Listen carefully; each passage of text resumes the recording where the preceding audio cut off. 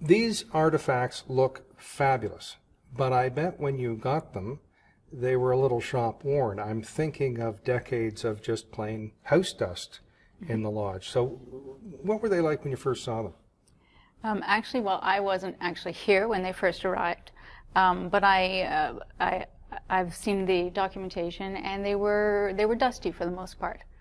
Um, these were not moldy. Often we would expect to find mold or um, other contaminants on them, but these were just dusty, most of them. So they've had a good vacuum with a soft brush and a, and a vacuum cleaner.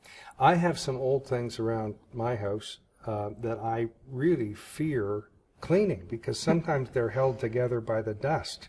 Is that a concern?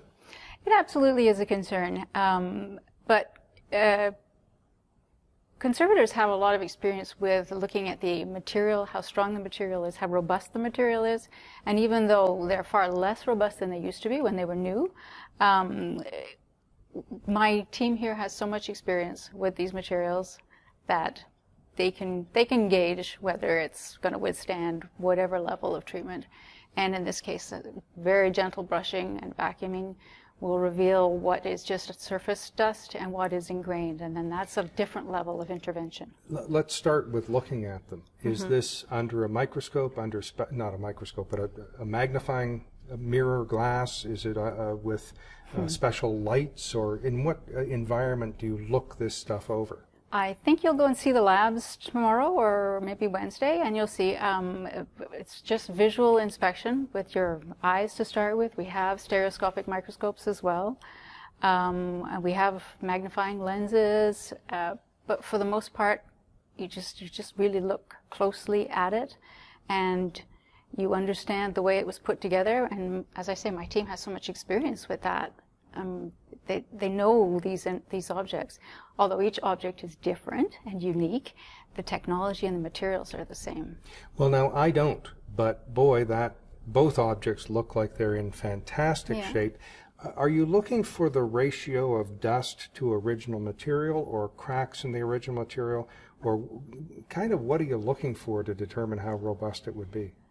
Um, we look for structural damage first and foremost because we don't want the object to collapse or to do further damage sitting in storage.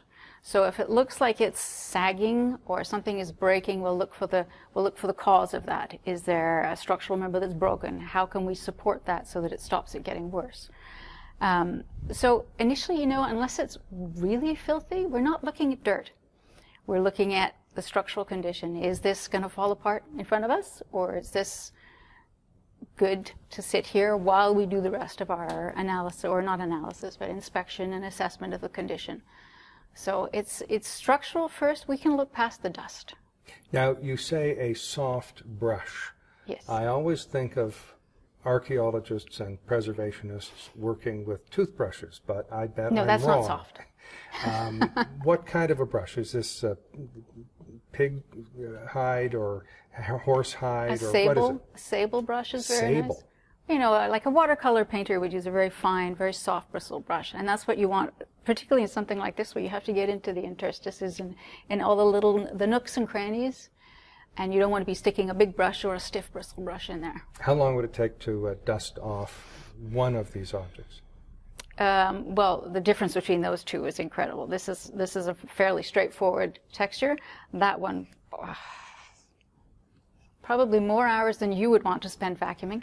Well, I, am uh, well. I'm starting with the brush. I'm not at vacuuming yet, but I, am I'm, I'm guessing um, a couple of weeks of work um, to, to get into each one of those round several several days, and you would brush with a with a vacuum held uh, away from the surface, not against the surface, because there's no point in just disturbing it and then having it settle back. So you have to disturb it and sort of brush it towards the vacuum and, and take the dust away.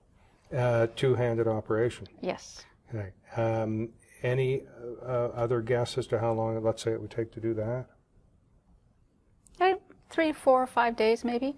And and the occupational hazard is surely sitting all day and a bad back leaning over this. Well, we have had ergonometric evaluations done of conservators' working positions, for sure. And you can get neck pain and you can get mm, headaches from concentrating, but you can just get up and stretch and you. Do any stand Um, while working? it depends on the object. If it's a tall object and it's, you know, you have to move all around it, then you can't do that from a sitting position. Are there any new colors or new coloring or new materials on either one of these objects? Um, that we have added? Mm-hmm. No.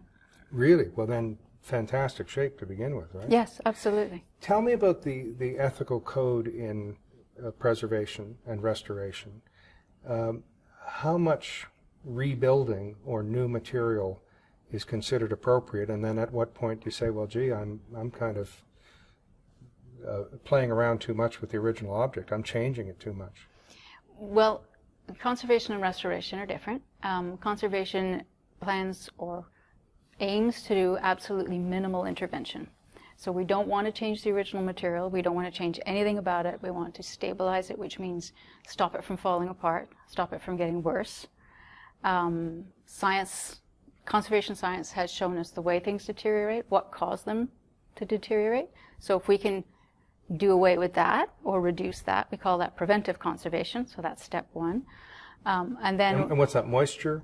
that's keeping it keeping it a stable RH, so it doesn't go from being damp to dry, which causes the fibers in something like this to expand and contract. Don't want to freeze it. That's you know expanding and contracting. Um, temperature temperature is very bad for it accelerates all the chemical deterioration. So we keep it at a steady 18 degrees Celsius and 50% RH. That's what all of our storage and museum environment is. Um, and low light, because light is also not only causing fading of any dyes, but it will cause a deterioration of the cell structure of any organics, leathers, wood, um, basketry fibers. So we want to. That's that's preventive conservation. Um, and then um, hmm, I lost my train of thought now.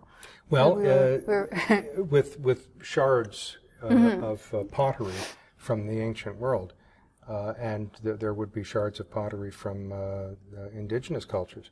Mm-hmm. There is a tendency to want to put new materials around it Ah, yes, to show what the object looked like, because otherwise it's a shard. What is the ethical consideration there? Well, for us, um, and things like this, we would not replace missing elements unless it was for, and, and this is this is an interpretive thing because the difference between a structural or a stability treatment and an aesthetic treatment is we want it to not get any worse, and so we will look after it, stabilize it so it doesn't get worse. For an aesthetic treatment, somebody may wish it to look like it was just used yesterday. So if we do that sort of a treatment, we want to we use modern materials. We don't try and fake it with traditional materials. So we use modern materials which we will disguise so that they don't detract from it, but they also are very obvious if you look closely. So that's what I was talking to you earlier about the totem poles. The totem pole bases are new because the bottom's rotted out of them. You can see that they're new, but you don't immediately think, uh, that's a new part. It's, it's there, it's obvious when you look closely, but it doesn't try and fake anything. Why not old original materials? Because if we lose the documentation where we've said that we've replaced this part, at some point in the future somebody might think it was original, and we don't ever want that to happen. We want the original as we received it to be the final. So you'd use a different type of wood, a different type of grass to signal to the future um, this was This- fixed up at one this point. This was a replacement, But don't yeah. Misunderstand that this is uh, these were the materials used. Yeah. And, and at times, if it becomes a question of if we're going to adhere a support or tie it on, we would prefer to tie it on because every time you add an adhesive or a coating or a consolidant, you're changing the original material, which we try to avoid. Now, my um, determined mind looks at that and says, boy, to me, that represents a real sophisticated society and a division of labor. While someone is doing that dozens and dozens of hours of work, someone else has to be trading or hunting or fishing or cooking or building the domicile or looking after the domicile. Do you have a comment? That, do these objects speak to you in that way? Um, not me personally. No, me personally, I, as a conservator, um, they are beautiful objects, but I look at them from a materials and a construction and a preservation point of view. It's not my job to interpret them. Sorry, I touched. it's it's my job to make sure that they're here in 100 years, 200 years for other people to enjoy. Interesting.